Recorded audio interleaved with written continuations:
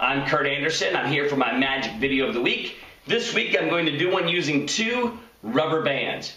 Pretty standard for magicians to take those big steel rings, link them together, then unlink them. I think most people feel like if they had those big steel rings, they could do that trick themselves. So I'm going to use rubber bands.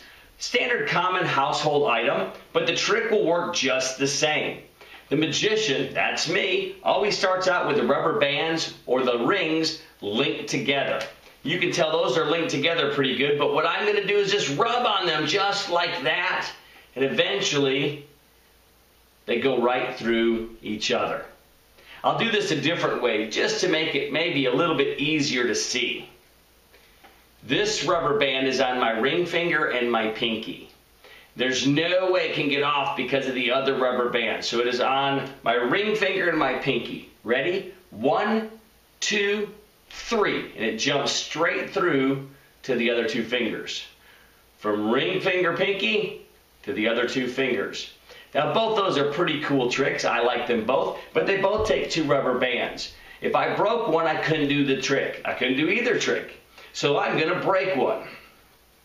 Kind of pull Now I can't do either trick, but if I use a little bit of magic, put it back together, and now I can do either trick.